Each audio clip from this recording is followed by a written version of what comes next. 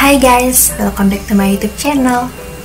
Jadi di video kali ini aku bakalan ngejawabin semua pertanyaan kalian yang udah masuk via DM Instagram aku. Jadi kemarin itu aku sempet uh, apa minta pendapat kalian gitu ya kan? Gimana kalau seandainya aku uh, apa menyatukan semua pertanyaan kalian terus aku jawabnya itu melalui video ini supaya dengan maksud dan tujuan kalian itu nggak e, menanyakan hal yang sama gitu loh karena banyak banget pertanyaan yang masuk via DM Instagram aku dan itu pertanyaannya banyak banget. Pertanyaannya banyak banget dan juga pertanyaannya itu rata-rata sama semua itu ya kan seputar tentang pengajuan nikah dinas. Jadi aku mau ngebahas semua di video ini dengan harapan semoga kalian menonton video ini sampai habis dan juga kalian bisa memahami setiap jawaban dari pertanyaan-pertanyaan tersebut. Sehingga kalian tidak e, menanyakan hal yang sama lagi nantinya gitu Oke, sebelum kita lanjut ke videonya, seperti biasa, jangan lupa kalian klik tombol like, subscribe, dan juga komennya di bawah. Dan juga kalian bisa follow Instagram aku di @hanca1112. Nah, di situ aku biasa bikin IG story dan uh, biasa minta pendapat kalian gitu ya kan, dan gak menutup kemungkinan juga aku bakalan bikin polling tentang next video nanti. Jadi jangan lupa di follow. Thank you.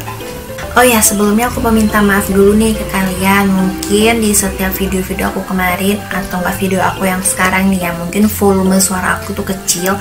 Karena memang ya inilah karakteristik dari suara aku gitu. Jadi memang suara aku tuh ya nggak bisa dipolin lagi alias nggak bisa dibesarin lagi gitu ya kan. Karena emang udah dari sananya kayak gini dan juga memang aku nggak punya uh, aksesoris seperti mic eksternal gitu ya kan seperti para youtuber-youtuber yang lain. Jadi aku murni menggunakan alat sederhana mungkin ya. Itu cuman kamera sama juga HP tapi kalian nggak perlu khawatir uh, pas di proses editingnya itu biasanya aku naikin lagi gitu ya naikin lagi volumenya gitu ya kan sampai full gitu. Sehingga insya Allah mungkin video yang aku buat ini semoga suaranya nggak kecil gitu ya Menurut aku nih ya guys, uh, semua proses pengajuan nikah dinas itu semuanya itu menegangkan mulai dari ngurus berkas, pokoknya dari A sampai Z lah yang namanya pengajuan nikah dinas itu bagi aku tuh menegangkan banget. Kenapa? Karena aku itu kan baru pertama kali nih yang namanya pengajuan nikah dinas. Jadi memang maklum lah ya kalau memang itu menjadi sesuatu hal yang menegangkan. Jadi ya itulah kesan pertama aku ketika aku pengajuan nikah dinas. Semua prosesnya itu menegangkan pokoknya ada memang salah satu proses yang di mana itu momen itu double, triple, apalah namanya itu menegangkan banget itu menurut aku ya, menurut versi aku. Jadi proses pengajuan nikah dinas yang menegangkan itu di bagian litsus. Nah, bagi kalian yang sudah pengajuan nikah dinas, pasti kalian tahu di bagian litsus itu kita bakalan ngapain aja. Kenapa sampai aku bilang itu menjadi suatu proses yang menegangkan. Pokoknya menegangkan banget di bagian litsus karena di situ aku dak dikduk parah hampir apa ya hampir mau menangis lah istilahnya. Nggak sampai menangis juga sih waktu itu cuman mau mewek gitu tapi nggak jadi nangis. Pokoknya menegangkan banget deh di daerah di di bagian khusus itu Jujur sih ya, aku bingung sama pertanyaan ini karena e, maksudnya itu kayak gimana gitu, berpengaruh ke istri dalam hal apa kalau dalam semua hal sih kayaknya nggak ada pengaruhnya sama sekali ya. Karena memang kan yang naik pangkat itu kan suaminya kita gitu. Jadi ya nggak ada pengaruhnya ke kita gitu. Karena mem karena memang kan kita tugasnya cuma mendampingin suami aja gitu. Toh yang naik pangkat kan suami. Jadi otomatis mungkin yang lebih berpengaruh itu ya di, ya di suami gitu. Kalau istri menurut pengalaman aku waktu suami aku naik pangkat kemarin itu ya nggak ada ngaruh sama sekali sih sama aja gitu seperti sebelum sebelum dia naik pangkat gitu.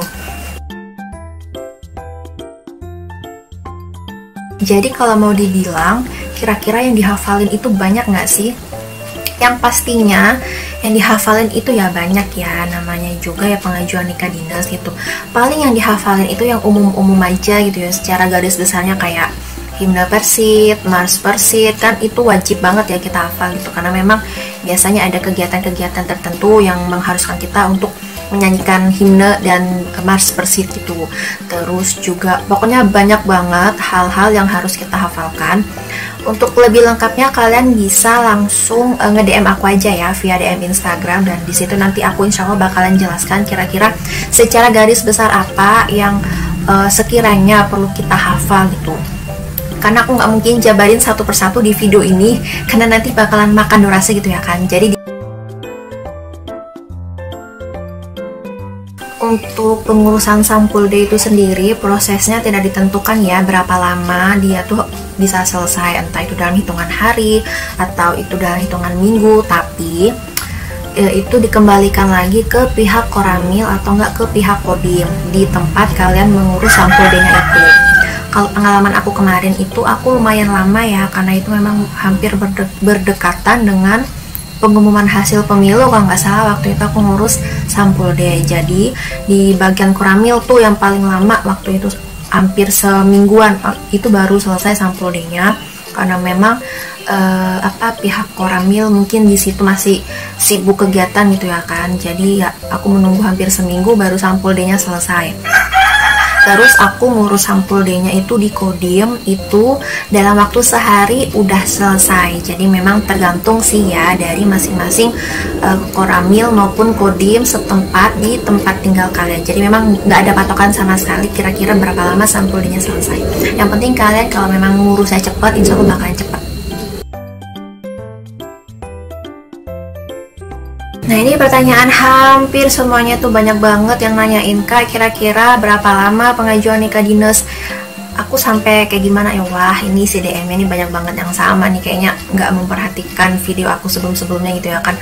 Kalau aku tuh selalu mengingatkan berulang-ulang kalau proses pengajuan nikah dinas itu tidak ditentukan berapa lama.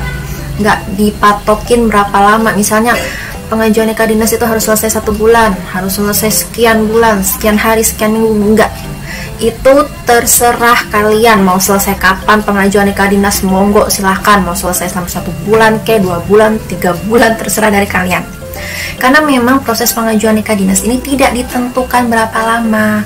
Karena memang prosesnya yang begitu panjang gitu ya kan sehingga masing-masing orang pengalaman pengajuan nikah dinasnya itu berbeda. Kayak aku contohnya nih aku selesai pengajuan nikah dinas itu kurang lebih satu bulan.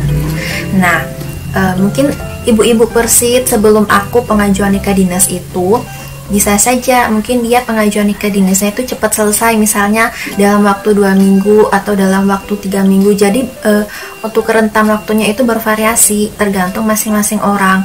Ada yang memang dia lagi ngebut gitu ya kan supaya cepat selesai. Ada yang memang prosesnya itu santai gitu ya kan